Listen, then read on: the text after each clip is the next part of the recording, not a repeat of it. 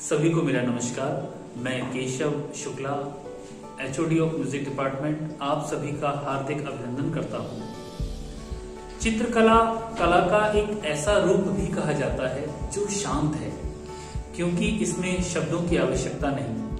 बस आप एक पेंसिल या ब्रश हाथ में लीजिए और जो भी मन की सोच के द्वारा आप चित्र कागज़ पर, कैनवस पर बनाना चाहते हैं, वो आप बना सकते हैं।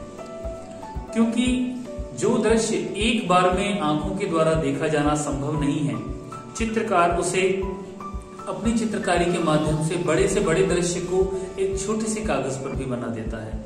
और जिसे हम बार बार जितनी बार चाहे देख सकते हैं।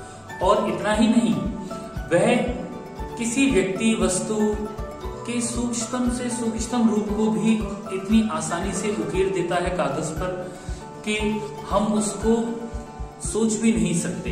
तो कला, चित्रकला एक ऐसा माध्यम है कला का।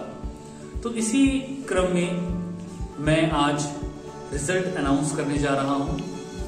सत्युग दर्शन विद्यालय तथा सत्युग दर्शन संगीत कला केंद्र के द्वारा आयोजित एक प्रतियोगिता सुर सेतु, जिसका सीज़न टू है, उसकी रिज़ल्ट आज मैं अनाउंस करूँगा। इस प्रतियोगिता में लगभग 5000 से अधिक प्रतिभागियों ने भाग लिया है।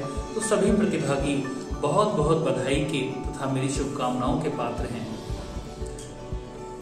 जो जिन बच्चों ने इसमें भाग लेकर स्थान प्राप्त किए हैं, क्योंकि ये प्रतियोगिता है तो उनके नाम मैं एक एक करके अनाउंस करूँगा।